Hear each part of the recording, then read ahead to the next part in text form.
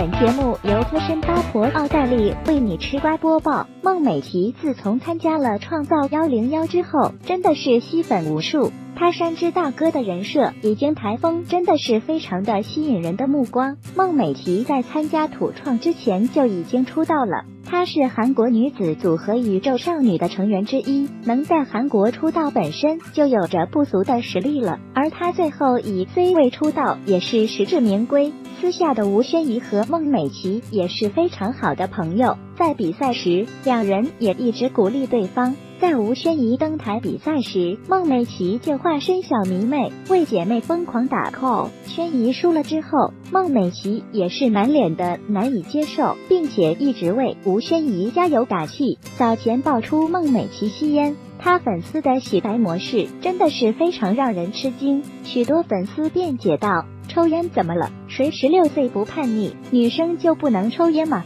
如此回应真的是令人不适。虽然很多人喜欢孟美岐，即使不是死忠粉，也是路人粉，但是她的粉丝在圈里的名声可是真的很差，每天都被骂毒瘤。吴宣仪牢记长辈教诲，一直不忘初心，作为正能量偶像，合理引导饭圈。早年在韩国和近期都说了奶奶告诉他要做好人这样的话。可想对长辈是多么尊重及爱护。这次孟美岐粉丝深知打头不如意，刷票却被被抓包。部分孟美岐粉丝无一上残诅咒长辈，先有泽匡拿一违法泄露吴宣仪个人信息没有悔改，仍继续内涵吴宣仪长辈；后有孟美岐大粉闭眼吹毛球，带头内涵长辈，并恶意轮播扩散多条尊老爱幼是中华民族传统美德。这样的人身攻击已造成了极度恶劣的影响。饭圈争执牵扯家人长辈，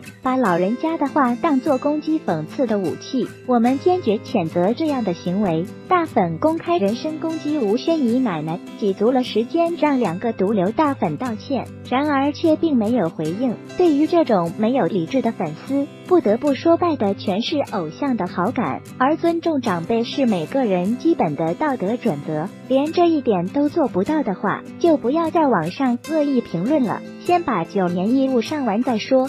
对此，网友们则表示：一，请孟美岐粉丝出来道歉；二，发完身份证照还不够，现在又有粉丝直接 R S 奶奶，真是一群毒瘤粉丝。三，孟美岐粉丝请道歉，不为别的，请尊重长辈，长辈都不尊重，那就别在饭圈混了。四，虽然我是孟美岐的粉。但是有些毒为这样扯到家人，真的过分了。五美仙粉表示很心痛，真的怕两个小姐姐因为粉丝的事会变得很尴尬。